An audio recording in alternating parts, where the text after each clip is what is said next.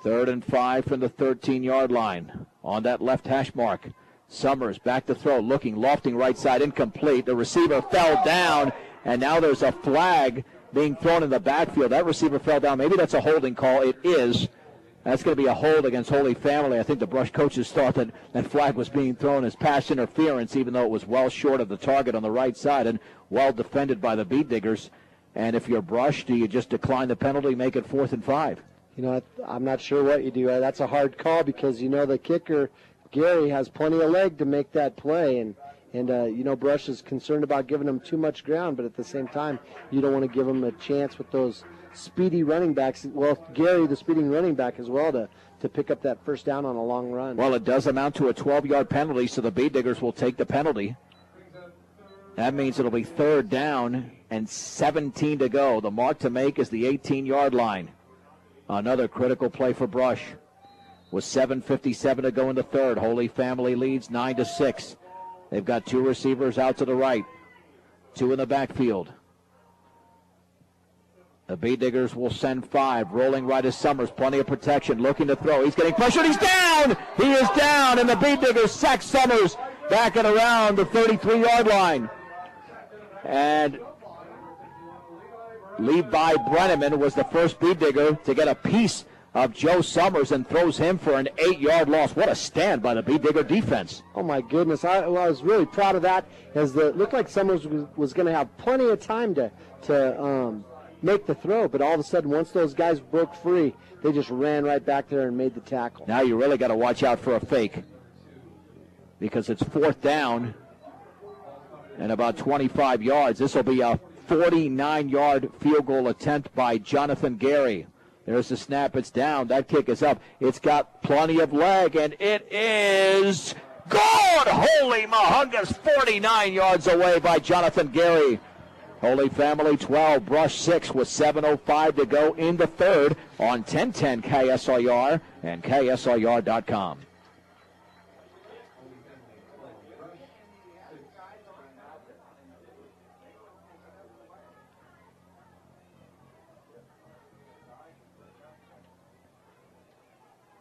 Okay, we'll keep it right here.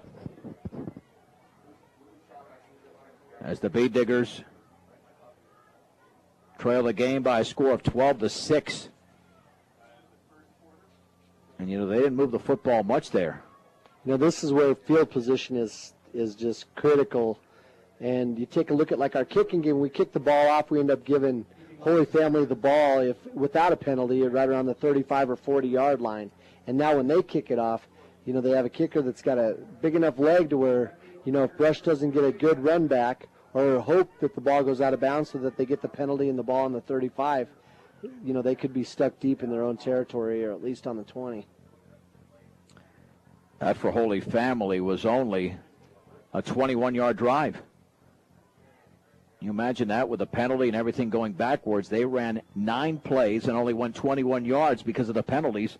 But Jonathan Gary makes a 40- Nine yard field goal. It's 12 to 6 with 7.05 to go in the third. And with the Beetdiggers down by six, Gary will boot that football. A line drive that's headed towards the sideline. And it's picked up at the five yard line by Brandon Rutherford. And he spins out of a tackle and he's across the 10 to around the 15.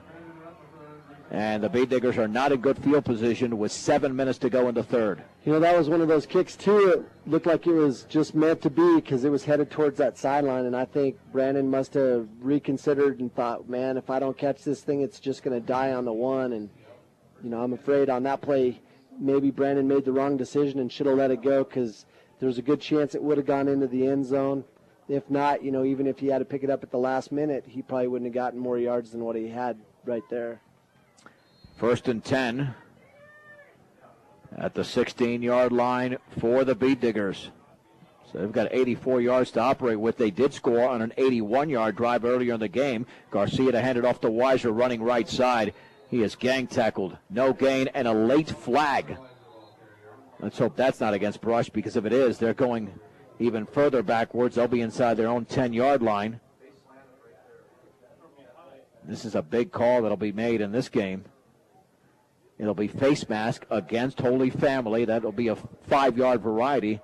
Nice break for the Beetdiggers. Hey, we'll take it. We'll take that five yards any way we can get it. And and uh, I have to mention Holy Family's back out in that five-two defense with those three big defensive linemen and two pretty good-sized defensive ends up there trying to stop this running game. Like a good neighbor, State Farm agent Greg Mullen is there. Let Greg Mullen work with you to get the discounts you desire and the coverage you need. State Farm agent Greg Mullen. So officially, it's going to be a one-yard gain and a five-yard penalty. Should be a second and four. Well, they're marking it at the 22, so it will be, or uh, first and five, I should say. That's what it'll be, first and five.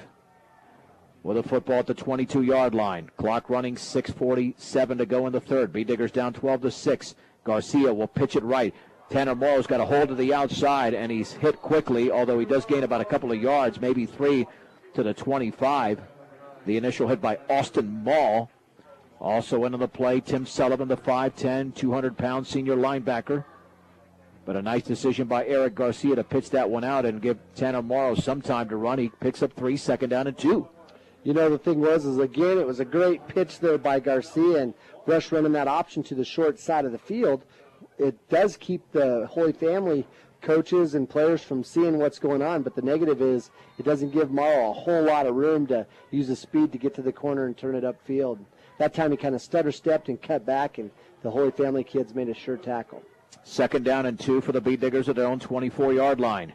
Two receivers split out each side. Connor Weiser, the lone setback, has the football handoff up the middle. He corrals that football across the 25 to the 27 yard line. Looks like a Beetdigger first down.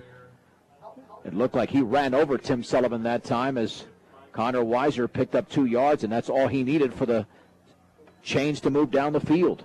He looked like that ball came loose too. It looked like it bounced right up into a Holy Family kid's arms, and the Holy Family kid recovered it, but the official said that he was already down when the when the fumble occurred. So Weiser, they know that that he they can get the football from him, so he's really going to have to wrap up and hold on to that thing as the Holy Family kids try to strip the football from him.